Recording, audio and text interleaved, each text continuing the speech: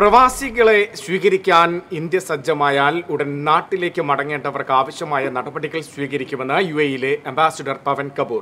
അടിയന്തരമായി നാട്ടിലെത്തേണ്ടവർക്കായിരിക്കും ആദ്യഘട്ടത്തിൽ മുൻഗണന എന്നും പവൻ കപൂർ പറഞ്ഞു. യു എ ആരോഗ്യ മന്ത്രാലയവുമായി സഹകരിച്ച് പ്രവാസികൾക്ക് ആവശ്യമായ ചികിത്സ ഉറപ്പാക്കുന്നുണ്ടെന്നും ഇന്ത്യൻ സ്ഥാനപതി വ്യക്തമാക്കി.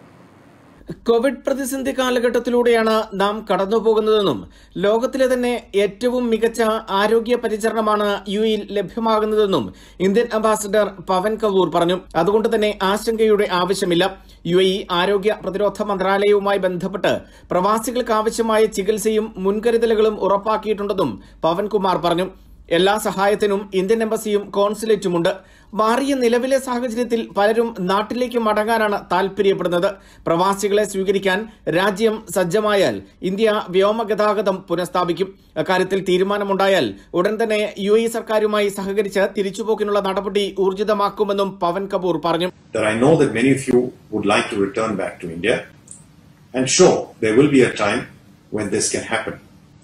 The government of India, once it decides that we are in a position to allow a lot of more of our overseas Indians back into the country, we will work closely with the UAE authorities to ensure that this is done in a smooth and efficient manner, of course, giving priority to those who need to go earlier. But in the meantime, please don't panic.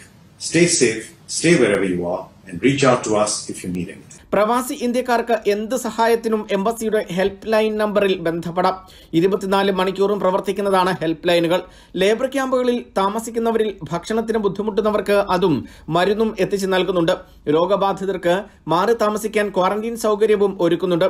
ഭക്ഷണം ഉണ്ടാക്കി കഴിക്കാൻ കഴിയുന്നവർക്ക് വിവിധ സംഘടനകളുമായി ചേർന്ന് അവശ്യവസ്തുക്കൾ എത്തിച്ചു നൽകുന്നുണ്ടെന്നും അംബാസിഡർ പറഞ്ഞു.